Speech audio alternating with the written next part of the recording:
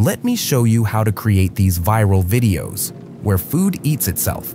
These clips get millions of views, and I'll walk you through exactly how to make them. Open ChatGPT and go to Explore GPTs. Search for food eating itself and select that GPT.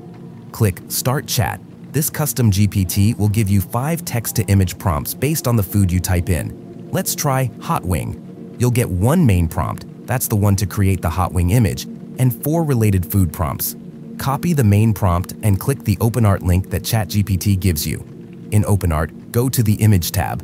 Click Create Image. Under Model, select Nano Banana Pro. Paste the prompt.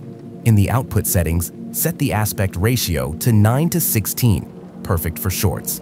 Set the resolution to 2K. Choose how many images you want, and OpenArt will generate them. I also tested the other text-to-image prompts, and they looked great too.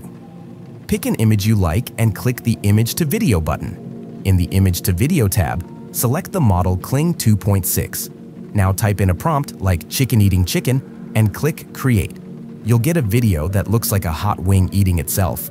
I also tried it with a pear, used a simple prompt, pear eating pear, and got a similar fun result. You'll find all the links and tools I used in this video in the description.